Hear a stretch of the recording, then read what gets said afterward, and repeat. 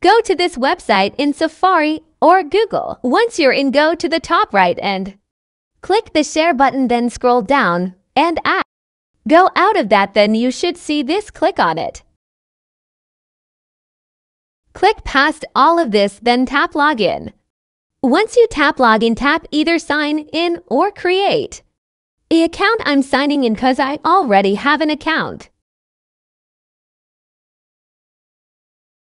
After you signed up or logged in, click Done then.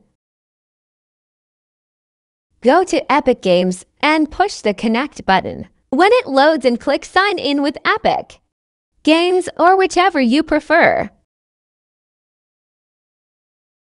You might have to do a security code. If so, just put it in and bam. Go to the main menu and click on Fortnite. Then click play. It might take a couple of minutes. But when you get in, go to shop and scroll down till you see it. Tap on the free skin and then hold the purchase button.